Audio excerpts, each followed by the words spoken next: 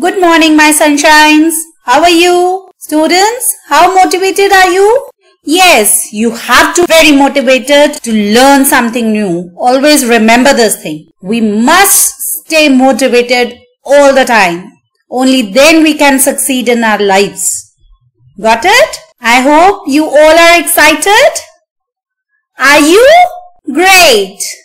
Students, have you heard one saying that we should put the past behind us? That means we should not talk about our past. But today, we are going to do something different. We are going to list down what you did yesterday. We will note down what you have done yesterday. Let's find out.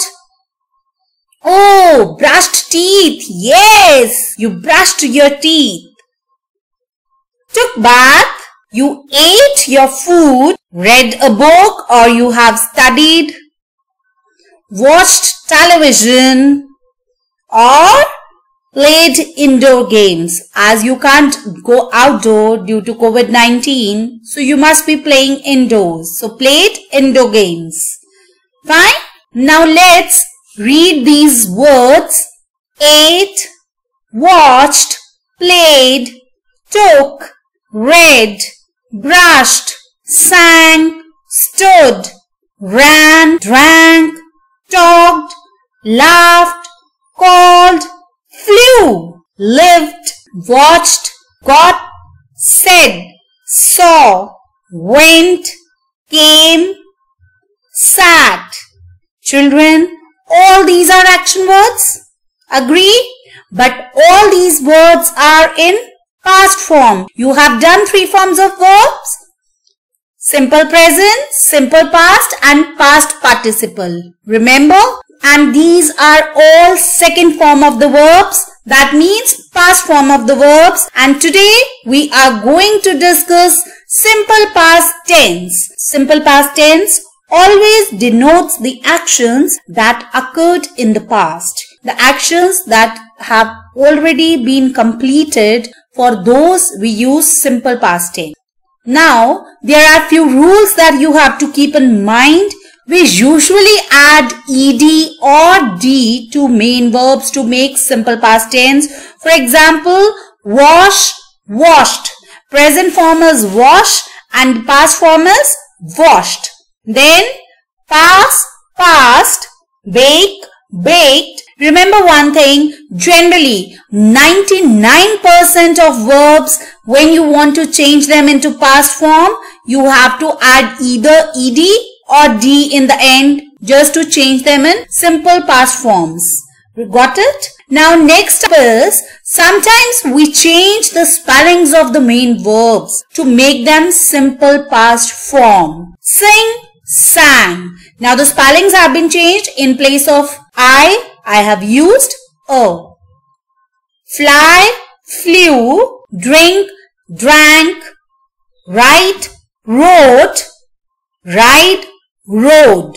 Just see spellings are similar but there is now difference between the present form and the past form. And the last word is sit, sat. Let's move to the next kind. Sometimes we change the verb completely to make it a Past form. For example, fight becomes fought, buy, bought, tell, told, teach, taught. Go, went.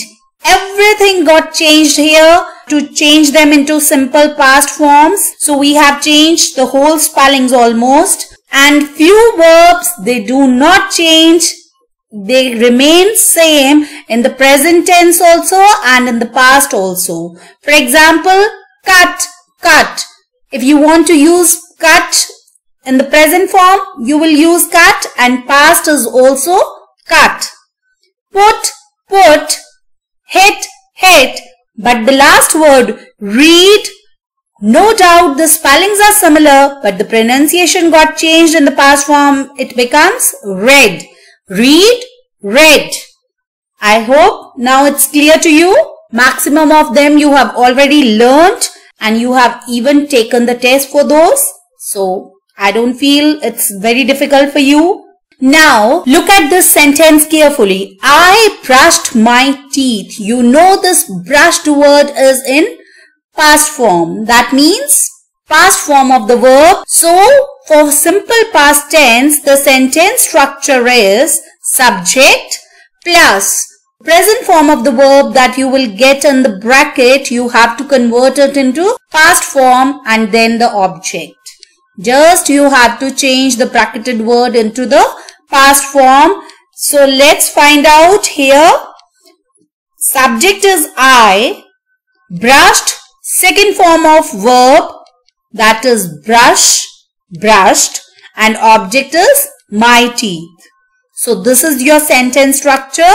Let's learn more through few examples. Now we have to fill in the blanks using the given verbs in simple past tense form. So first sentence is she dashed my book yesterday and the bracketed word is take. What is the past form of take? Took. So we will convert take into took and then we will fill the blank. She took my book yesterday. Next sentence. I dashed my mother last night. Help is the bracketed word. The past tense of help is helped. So we will put helped in the blank and that is our answer. Next. He dashed to solve the sums himself and bracketed word is try and the past form of try is tried. So he tried to solve the sums himself. Next, the police dashed the thief yesterday and the bracketed word is catch. The past tense of catch is caught. So it will become the police caught the thief yesterday. Next, my sister dashed beside me to talk. My sister. Now, what is the past form of sit? That is sat. My sister sat beside me to talk.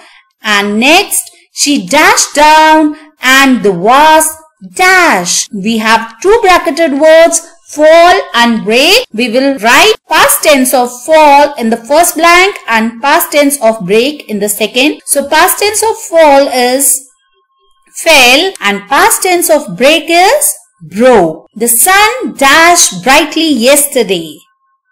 Now the bracketed word is shine and the past form of shine is shone. The sun shone brightly yesterday. Let's discuss through few more examples.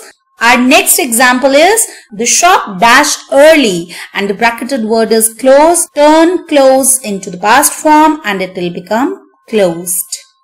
Next, the thieves dash out of the back door. Run.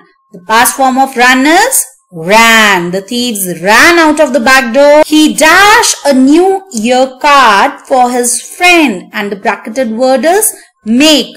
Past form of make is made. So he made a new year card for his friend. Next, I dash at the door twice. Bracketed word is knock. So I knocked at the door twice. The cat dashed behind the curtain. Hide. Past form of hide is hid. So the cat hid behind the curtain. Harshit dashed off his bicycle last evening. Past form of fall is fell. Harshit fell off his bicycle last evening. My mother dashed me to go to sleep early. And the bracketed word is tell. Past form of tell is told. I hope everything is clear to you. See you soon in the next class. Till then, keep learning, keep studying, stay safe and stay healthy. Bye bye.